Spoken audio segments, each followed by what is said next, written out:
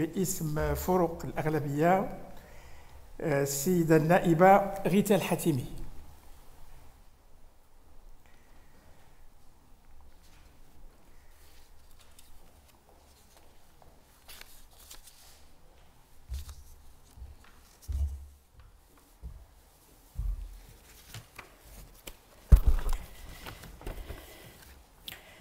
بسم الله الرحمن الرحيم والصلاة والسلام على أشرف المرسلين السيد الرئيس المحترم السيد سيد الوزير المحترم السيدات والسادة النواب المحترمون يشرفني أن أتناول الكلمة باسم فروق الأغلبية في مشروع قانون رقم 42 20 المعروض على أنظارنا اليوم في البداية نجدد الشكر والتنويه بكل المجهودات القيمة وكل المبادرات الخلاقة التي قامت بها سلطات بلادنا في التصدي لهذه الجائحة حيث يمكن التأكيد في هذا الصدد بأن النظرة الاستباقية لصاحب الجلالة الملك محمد السادس نصره الله والمواكبة المستمرة للحكومة ولكل المتدخلين ذوي الصلة جعلت بلادنا في مأمن عن التفشي المهول لهذا الوباء الخطير والخروج بأقل الخسائر البشرية والاقتصادية.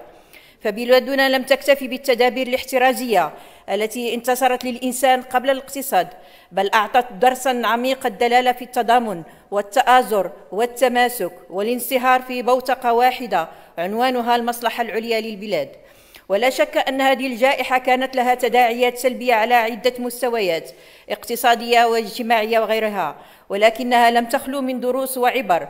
نعتقد بأن المغرب القوي بحضارته وتراكماته وتلاحمه وتضامنه وإجماعه على ثوابته قادر أن يحول الإكراهات إلى إنجازات ويحول الإشكالات إلى فرص إيجابية تستشرف المستقبل بكل ثقة.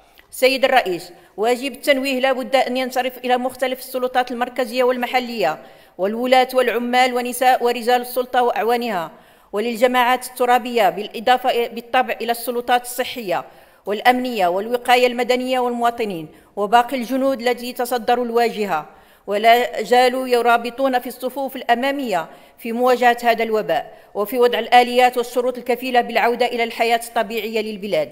سيد الرئيس إن مشروع القانون الذي نتدارسه اليوم ينسجم بكل تأكيد مع التوجه الذي تحدثنا عنه آنفا حيث يجيز للحكومة أن تقرر خلال فترة الطوارئ الصحية المعلن عنها وفق سريان مفعول كل أجل من الآجال المنصوص عليها في النصوص التشريعية والتنظيمية الجاري العمل بها.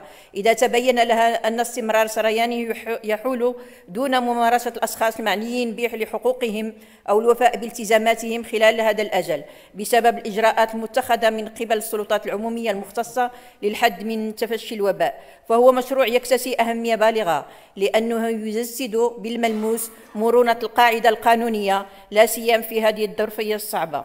سيد الرئيس المحترم إن مجهودات الدولة المغربية التي حازت إعجاب العالم لا يمكن تقويضها تماما بالتراخي في تطبيق التدابير الوقائية والبروتوكولات الاحترازية الصحية فمقاربة الحكومة رام التخفيف من حجر الصحي الذي لا يعني تماما تجاوز المرحلة.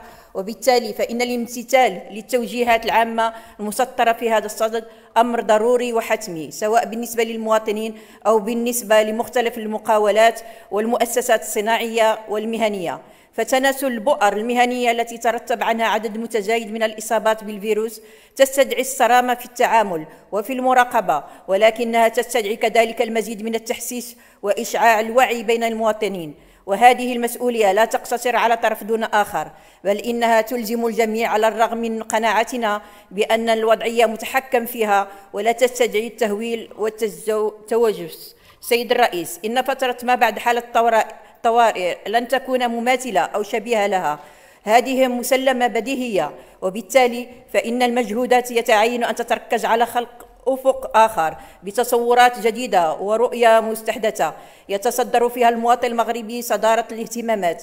ومن ثم فإن تداعيات الأزمة أثبتت بأن التعليم بمختلف أصنافه يشكل اولويه أولويات بعد ملف ملف وحدتنا الترابيه بالإضافة إلى ورش الصحة والرقمنة والاستثمار بالاضافه إلى توطيد أسس الرعاية الاجتماعية كما أن مقاربة المجال يجب أن تنفتح العالم القروي والجبلي وفق العدالة والتوازن المنشودين. وفي إطار الجهوية المتقدمة التي يتعين أن تشكل إحدى مفاتيح الإقلاع الاقتصادي والاجتماعي كذلك. السيد الرئيس في الختام لا يسعنا في فرق الأغلبية إلا أن ندرع إلى الله أن يزيل عن بلدنا هذه الغمة ويجعلها دائما في القمة ويهيئ لها سبل الارتقاء في مدارج التقدم وذلك وليس ذلك بعزيز على هذه الأمة العظيمة التي استمدت على الدوام القوة من رحم المعاناة والأزمات لتخرج منتصرة متلاحمة متضامنة موحدة وراء العرش العلوي المجيد والسلام عليكم ورحمة الله تعالى.